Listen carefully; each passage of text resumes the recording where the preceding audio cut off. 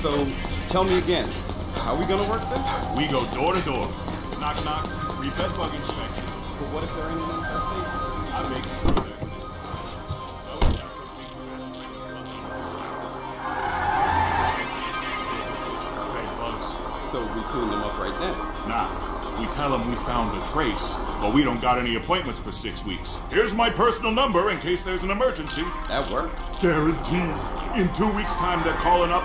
Bites all over them, kids crying. They're willing to pay five, ten times the standard rate. Creating demand. Sweet. We let them stew a few more days, then we go in and clean it up.